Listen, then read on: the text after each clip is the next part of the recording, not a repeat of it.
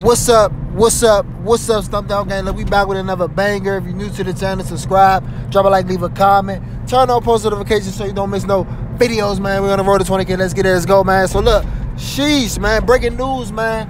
Jacksonville rapper Spinabenz, bro. Um, he was shot in his hometown today. You feel me? So allegedly it was a, a confrontation with him and an op, and he got punished, bro. You feel me? It's crazy because that energy you put out, man, that shit come back, bro. He just made that diss song with Yungeen Ace and shit. And they was like, who I smoke? And they was naming all they ops. Your name can't be Spinabenz and you getting the bin spinned on you, fool. You feel me? That's that bluffing shit. You you got, you know I mean? You can't be getting hit in your name Spinabenz. But nah, he been, I hope he alright, man. Make sure y'all say y'all condolences to him, man. Hopefully he survived, man. But let me know what y'all think in the comment section below. SEGM out.